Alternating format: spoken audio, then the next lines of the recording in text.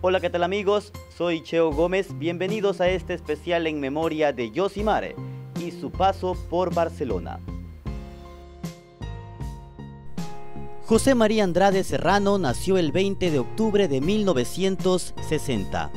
Abogado de profesión, entrenador de fútbol y comentarista deportivo por vocación. En 1998 fue campeón nacional sub-20 con Barcelona.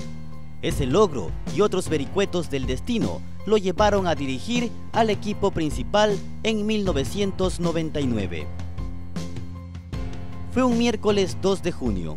El presidente Jorge Bejarano entra al camerino a las 8 horas 30 para dar a conocer al nuevo técnico, José María Andrade, en reemplazo de Jorge Javeguer.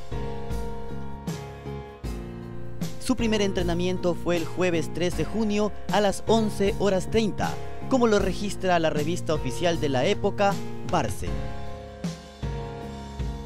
El día sábado, 48 horas después de haberse hecho cargo formalmente del primer plantel, le da la oportunidad a nueve juveniles en el equipo principal.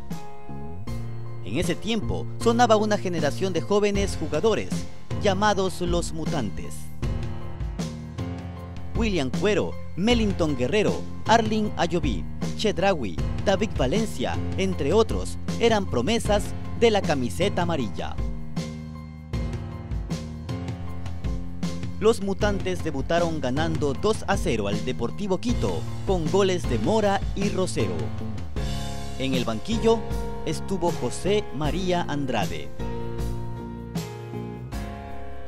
Con el ídolo consiguió 9 triunfos, 6 empates y 12 derrotas. Tomó al equipo en octavo lugar y lo dejó en cuarto puesto en la liguilla final. Lo que pasó después es historia, historia de Yosimare, como le decía la gente, quien pasó por los escenarios más populares del país, el fútbol y la radio. Adiós a un barcelonista, a un hombre del deporte.